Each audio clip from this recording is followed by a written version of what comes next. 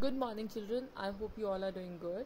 In this class, we are going to talk about different governing systems. Governing means the systems that are leading a country, a state, or any particular institution or organization. So, we'll start with the true and false. India is known as the largest democracy in the world. Yes, this is true. We are a part of democracy. That means we uh, all belong to a democratic country. Democracy means we people of India choose our own representative. Okay, so next we have the United Kingdom is one of the few countries in the world that does not have a written constitution. This is again true. United Kingdom is not having written constitution the way we um, um, we the citizens of India have. We have our written constitution, but in United Kingdom there is no such written constitution Martin Luther King Jr., the President of United States of America, fought for the civil rights of people. This is false. Okay, this is true that the civil rights movement started in USA, but Martin Luther King was wasn't the one who fought for the civil rights of the people. Okay, so this is false. So uh, you need to just remember the things, you know, just go through the true and false and fill fill ups and then later on just remember them. Next we have the united arab emirates, emirates is a constitutional fed, uh, constitutional federation of seven emirates. This is true.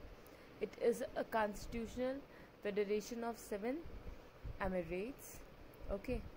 So um, this is children basically about the different governing bodies all over the world in France, the king is still the ceremonial head of the state.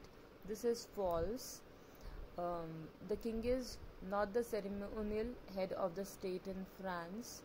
Okay, it doesn't uh, have the monarchy system. Then we have what is the minimum voting age in Brazil?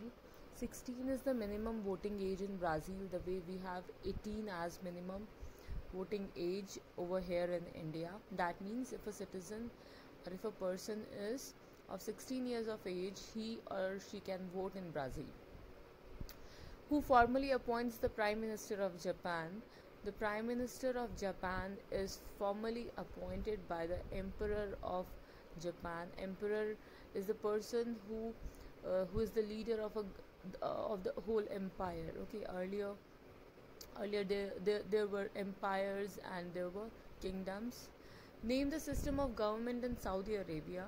In Saudi Arabia, still there is monarchy. That means there is one king, and uh, according to him, the state is governed. That means the uh, king takes care of the. He is the leader. In the United Kingdom, the monarch is the head of the state. Name the head of the government. Head of the government in United Kingdom monarch is the head of the state and the head of the government is prime minister. So you need to remember that the head of the state in united kingdom is monarch whereas head of government is prime minister. The united states hold presidential elections after how many years? In in united states the elections for the position of president are held after 4 years. Okay the tenure of a president is 4 years this is the tidbits. India is a multi-party democracy. Like the United Kingdom, it has a parliamentary system of government.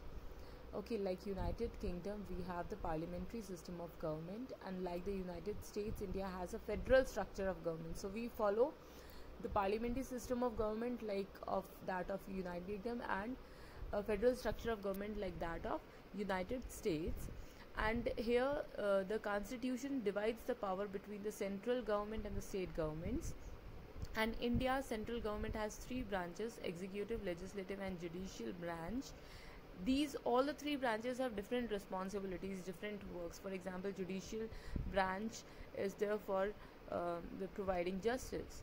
However the constitution also provides for them to be dependent on each other in some way. And it started on 26th of January in the year 1950 okay just go through the video and